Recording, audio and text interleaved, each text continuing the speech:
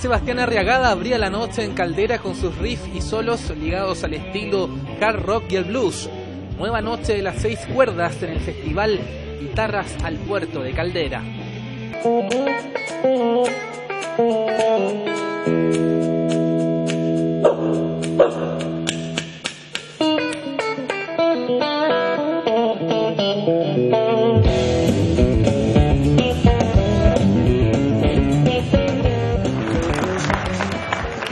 Primera vez que vengo a este festival Guitarra del Puerto, que primera vez que me invitan, espero que sean muchos más. Y nada más que agradecer.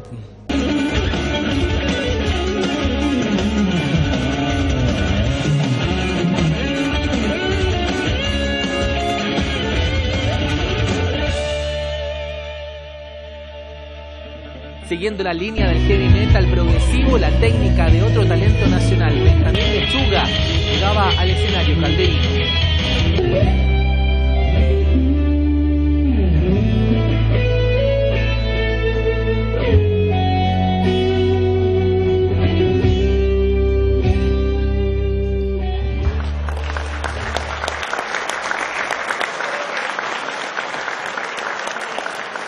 Llevo unos 15 años más o menos en esto.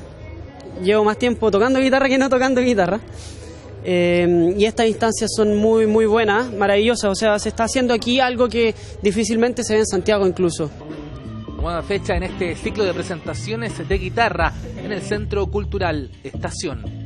Bonita la actuación, me gustaría sí que por ejemplo hubiera sido más bullado en Copiapó para que la gente también disfrutara este, este espectáculo que fue maravilloso. Vengo siempre a ver los- a los guitarristas de aquí en, en Guitarra del Puerto, me gusta harto este evento, así que qué bueno que lo estén haciendo. Excelente, muy bueno. Me gustó.